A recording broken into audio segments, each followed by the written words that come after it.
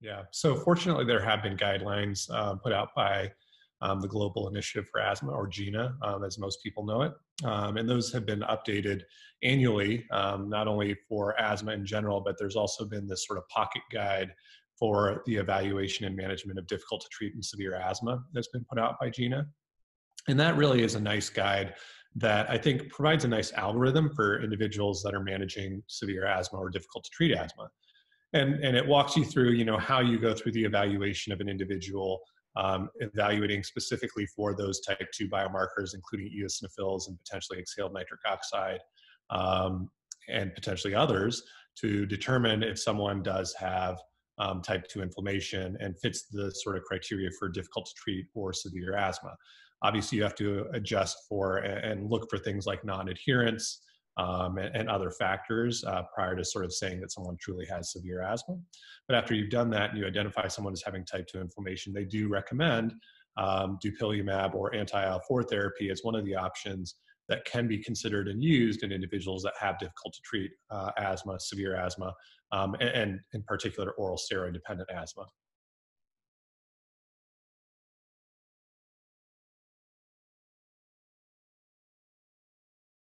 So, I mean, we are unfortunately learning more and more about the potential negative impact of oral steroids, not only used chronically, but even in intermittent bursts, um, and the role that those steroids may have on long term outcomes, including things like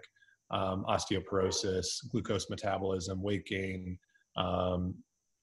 um, eye issues. So there's a number of things that can occur from chronic oral steroid use um, and a number of negative sort of factor, negative health outcomes that can result from oral steroid use. And certainly in those that are oral steroid dependent, um, those risk factors are amplified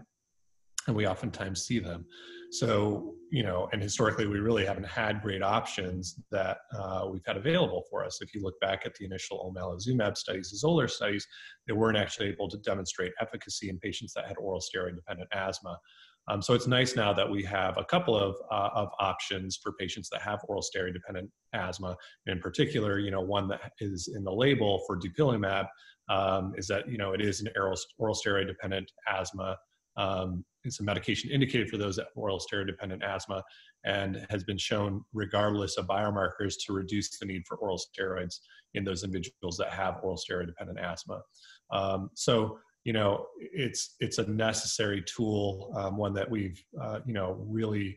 eagerly uh, been anticipating uh, to use and we've fortunately had a lot of good success early on in those that have oral steroid dependent asthma and, and i think it's also important to note that a lot of our oral steroid dependent asthmatics um, probably about 20% or more also have comorbid um, chronic rhinosinusitis with nasal polyps. And it's oftentimes difficult to ascertain in those individuals that have comorbid disease um, how much of their oral steroid dependency is coming from their upper airway versus their lower airway. Um, because they're oftentimes on oral steroids and they'll describe feeling short of breath and having difficulty with control of their asthma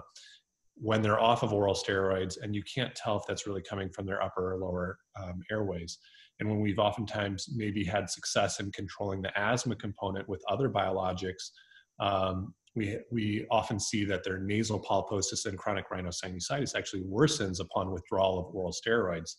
And dupilumab has been nice because we've actually been able to get people on much lower doses and sometimes off of their oral steroids with control both their upper and lower airway disease. Um, so it really is a nice entry into the market um, for those individuals.